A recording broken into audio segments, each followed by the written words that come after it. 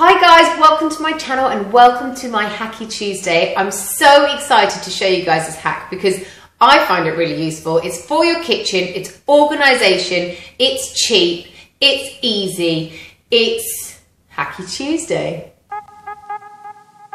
So this is what we're going to be making. We're making kitchen drawer organisers. Now I went to the shops the other day and I looked for a 600 drawer organiser and a 900 drawer organiser. The 600 drawer organiser was £10 and the 900 was £20. So I'm going to make this hack. This one that I have made, which you will see in my video, costs me £3. Now I do obviously already have a glue gun with glue and things like that and my saw, so you need to kind of take that into account. But once you have those things, the hack is very, very cheap. So invest in those, but they will last you forever. Anyway, here is what you need and here is what you've got to do. A saw, a glue gun, a pen and paper for your measurements, a measuring tape and some wood. This is what my drawers look like before I made my organiser. They are pretty horrific and we've got quite a few of these drawers in our kitchen and we simply label them as the SHIT drawers.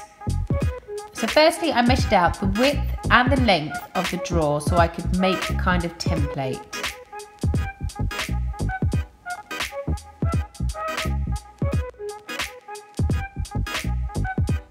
I then measured out two of the length sizes and two of the width sizes on my pieces of wood.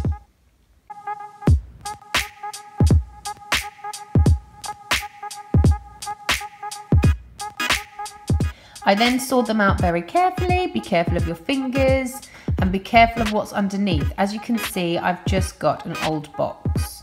Once you've got your four pieces, give them a bit of a sand down at each edge to make sure they're not all rough and then glue them all together in a box shape to make the outside of your organiser.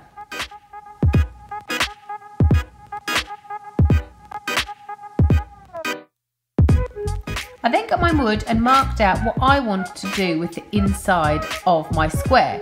I wanted two long compartments and a few smaller ones in the middle.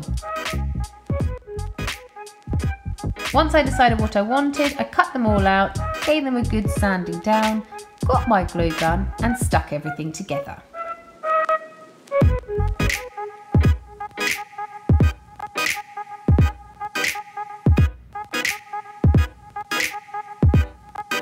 I then took my finished product, put it in my drawer and put everything back in. I was really careful and I didn't put stuff back in that shouldn't have been in that drawer. So it was really good for decluttering, minimalizing and just getting rid of a lot of that stuff we did not need.